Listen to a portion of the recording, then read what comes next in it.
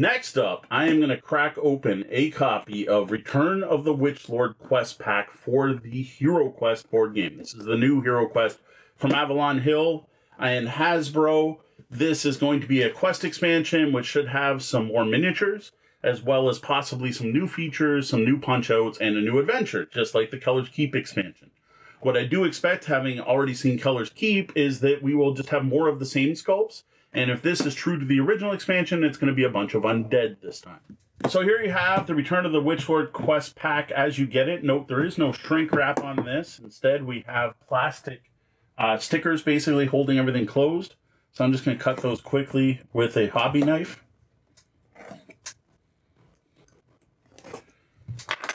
And let's take a look at what we get in the box for Return of the Witchlord. Start off with an adventure book, which should have. We have an alchemist shop, which includes some new potions. Uh, these may be the same potions that are in the other expansion. I'm not certain.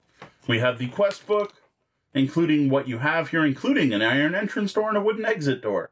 Um, some new tiles. It looks like we're going to see a new throne room. Then we have how to play it and a message from Mentor that introduces the adventure which I'm going to guess is a 10 part adventure, but we're going to take a quick look. We're on quest 9, quest 10. So, as usual, you have your, your standard quest format, you have a conclusion, and then you have a list of the artifacts that come in this expansion. We're going to take a look at what those components look like. So, we have a folded over, fairly thin punch board. This is one of my um, things I'm not overly impressed with with the new edition of Hero Quest, is how thin these cardboard counters are. They could have been much thicker. I do appreciate overlays to make whole rooms, though. That is a nice touch, including new secret doors, portals, and it looks like we got some graves to worry about and some spookiness going on over here. The fact that there's a golden throne here instead of a throne miniature is a bit disappointing. I would want to put the throne on there. Inside the box, we've got our new exit door and entrance door. Interestingly, the same exit and exit door you get with Kellar's Keep. So you're going to have two copies of these if you have both expansions. Which I guess makes sense because you can't count on everyone buying both. Not everyone is a completionist who buys board games. We've got a set of cards, which we'll quickly go through. All of the cards in Hero Quest come with these paper seals, which is a nice um, alternative to plastic.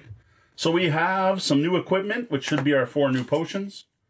Potion of Battle, Dexterity, Restoration, and Venom Antidote, all featuring um, nice line artwork.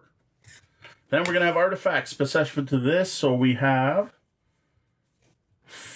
quite a few. So we have five brand new artifacts and five spell scrolls. Again, spell scrolls were also in the Kellar's Keep expansion.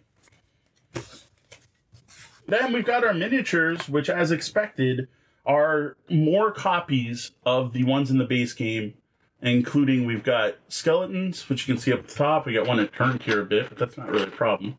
Uh, one of the things you will find with these miniatures, they are made of a, a rather bendable plastic that we've been seeing can end up, uh, well, not a good color here, sorry, a little bit bent during shipping. So that's a slight disappointment.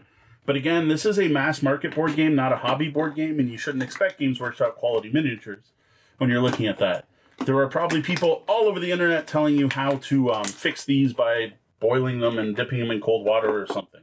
Personally, unless I'm going to sit down and paint these, I'm not too worried. Then we have new zombies. So, new skeletons, new zombies. And that's it. Some new cards, a 10 part adventure, new tiles for playing those adventures,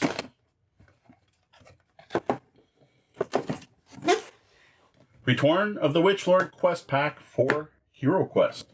Looks cool. Well, I'm surprised by how much overlap there is between this and Kellar's Keep. You've got the Alchemist Shop added in both. You've got the entrance and exit doors added in both, including miniatures for exit and exit doors.